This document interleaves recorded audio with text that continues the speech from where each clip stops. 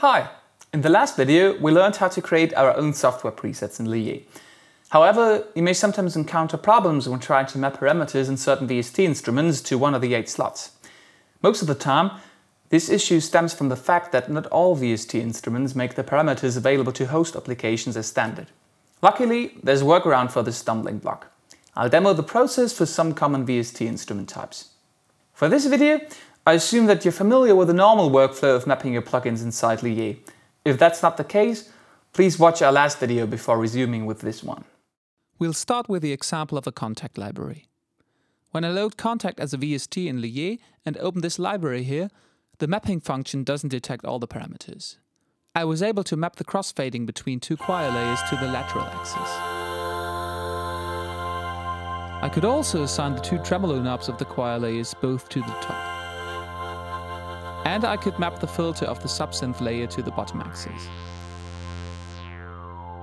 But now I'm trying to add a distortion effect, and the mapping routine just doesn't react if I try to assign the drive parameter to a slot. To work around this, I have to click on the Automation tab on the left, then on Host Automation. In the list, you'll see all parameters that are already made available for host automation by standard. This includes the parameters that I just talked about before, a red dot indicates that they receive values when I'm playing the Touché. I'll scroll down to a free host parameter entry. Assigning them works with drag and drop. Click and hold on them and drag them to the parameter that you want to expose to the host application. A plus symbol will appear whenever you hover over an assignable parameter. Let go and the parameter appears in the list on the left. Assigning it to a slot in Lié will now work as usual.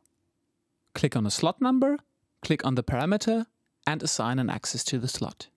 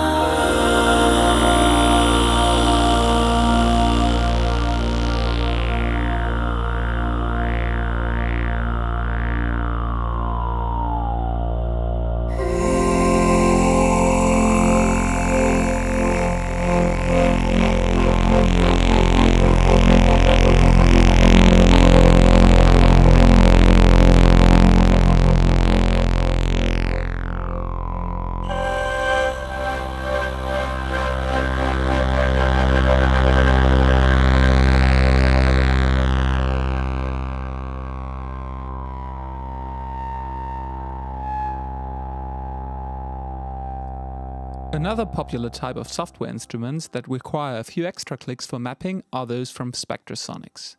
Let's check with Omnisphere.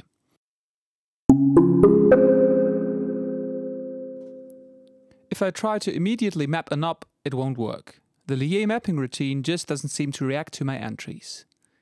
However, by right-clicking on the knob, you will see an option to manually enable host automation for it.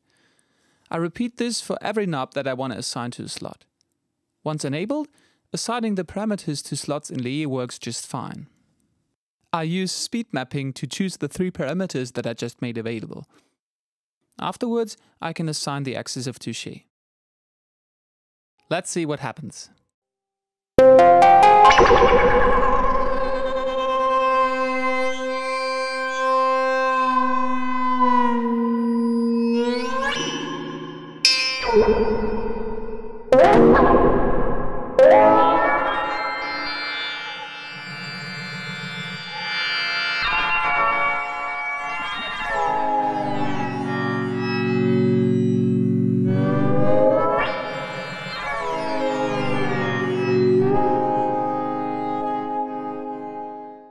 Now for the trickiest case.